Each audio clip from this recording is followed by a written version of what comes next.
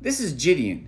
He is a YouTuber with 7.8 million subscribers, and he is in the news this week because he just deleted all of his videos. But why? Well, he explained that he is retiring from being a menace, and now he wants to be a full time follower of Jesus. Apparently, his rise to popularity was largely due to prank videos, and now he's speaking out against pranking people. He tells this story about how one of his pranks actually got three security guards fired from their jobs. However, at the time, he didn't care about how his prank was going to affect such people because the whole idea of a prank revolves around laughter at the expense of others. You lie to other people in order to humiliate them for the sake of laughing at them.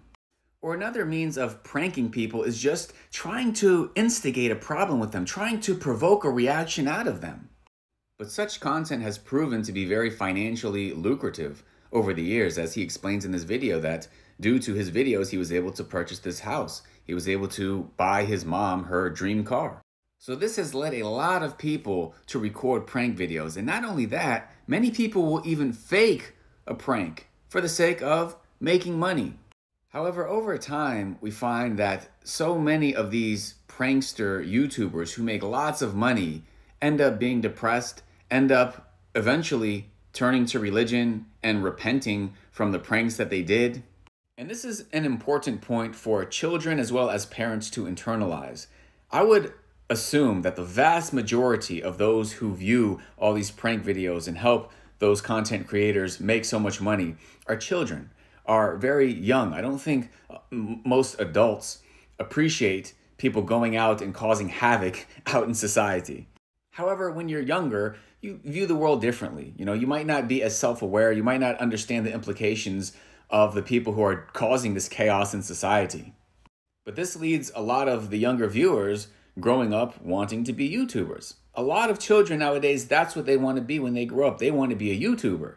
And if they find a lot of YouTubers finding success by doing pranks, we find a lot of them wanting to grow up and do pranks. And as a result, this is just going to lead to more and more chaos. I mean, take a look at this.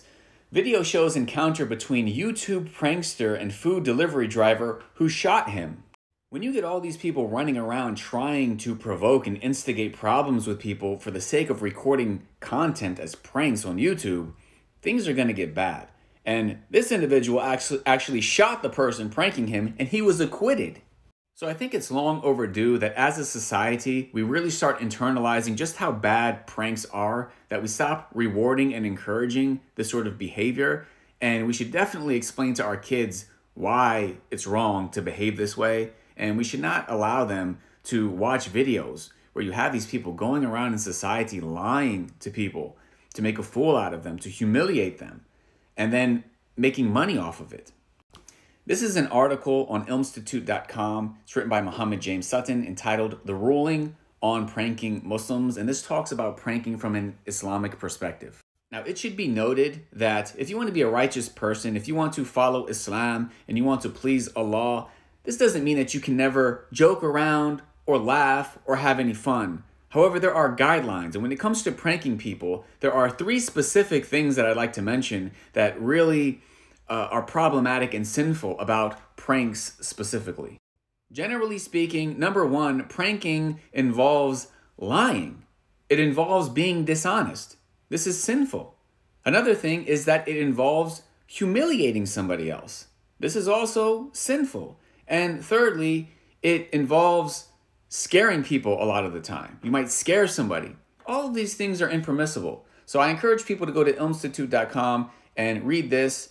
And all the parents out there, please explain this to your children if they are watching pranks and they are infatuated themselves with pranks.